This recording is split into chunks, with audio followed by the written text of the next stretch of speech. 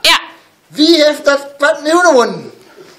Wie heeft toch die miljoen gewonnen? Wie heeft dat kwart miljoen gewonnen? Wie heeft toch dat gilde won? Wie heeft toch net 250.000 euro gewonnen? Wie zou toch die kwart miljoen hebben won? Oh, niet.